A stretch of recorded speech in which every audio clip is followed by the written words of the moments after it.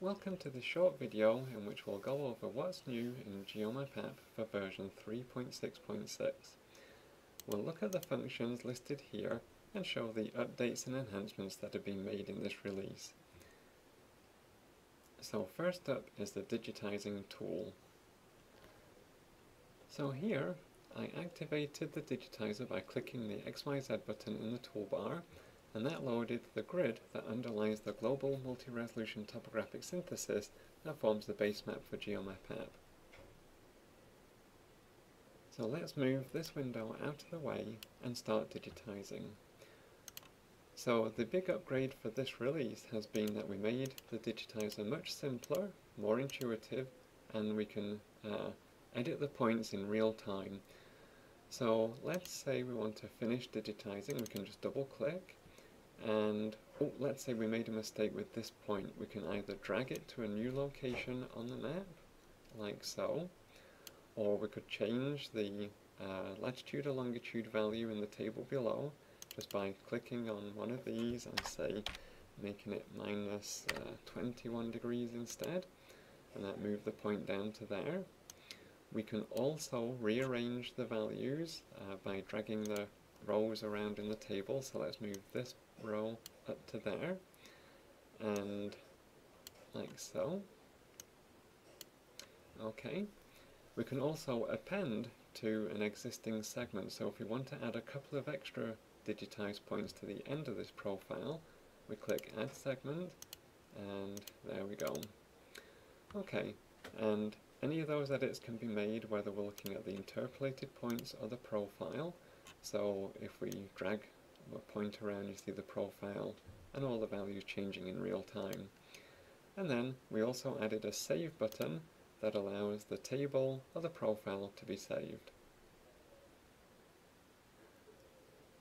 So that's a very brief overview on the updates that were made to the digitizer.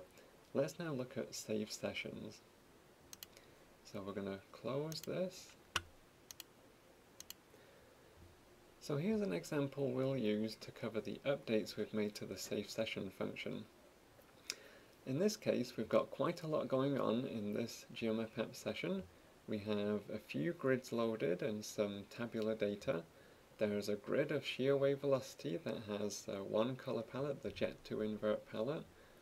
On top of that we have the depth to the top of the subducting slab and that grid has been made semi-transparent and has been colored with a black-white palette We've also added contours to it. Then we've put the state boundaries on as an overlay. There's uh, Washington, Oregon and Idaho state there with the boundaries. And on top of everything, this tabular data set represents some geochemical data that's been colored on aluminium oxide and scaled on magnesia. So the new version of GeoMapApp will allow this example to be saved just like it is and that allows it to be uh, shared with collaborators or with students if you teach. So to save the session we go to File, Save Session into the Session Manager, Save Current Session, and we'll save that. And that will save a little file that's uh, just shown here. And I'm going to get rid of this GeoMapApp and start another one. And we'll show how to import that so here's the new window and we'll import that session that we just saved. There it is. And we see lots of things happening, lots of data sets are being loaded. And you can see here it's loading the tabular data slowly.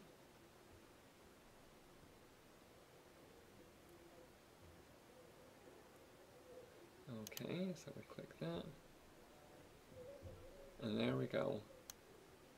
So we imported that save session file and all of the layers with all the transparency, the coloring, the shading, the contouring has all been reproduced exactly as we saved it. Remember that a save session will work on built-in datasets but we don't currently allow imported datasets to be stored in a session file. So that's the update to the save session.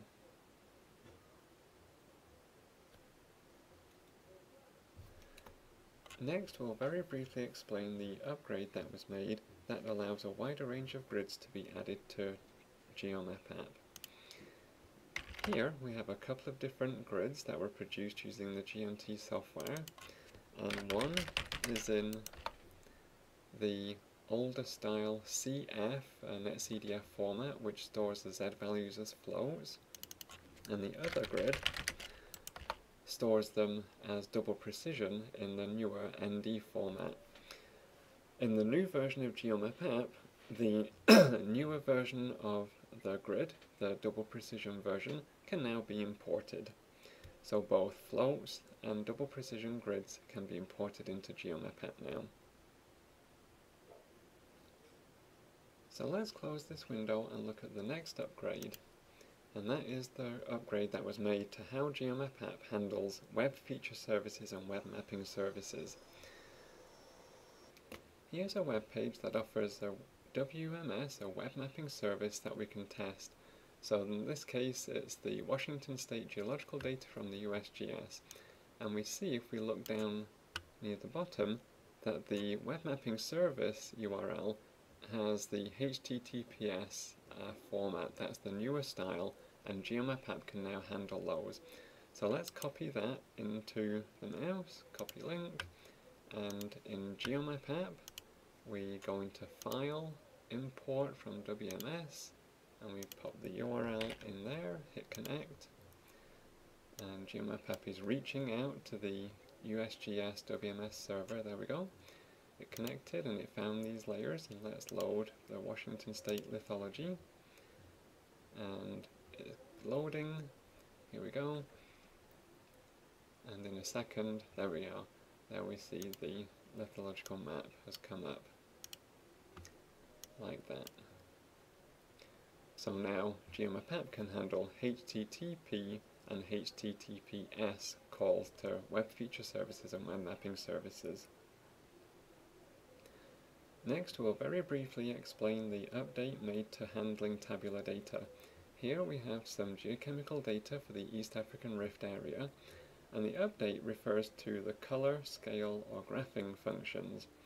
In previous versions of GeoMapApp, if you clicked on one of these, all of the column headers that's in the table below would be listed in the menu, but now when you click on one, a menu, only the valid columns which have valid numerical values will be listed.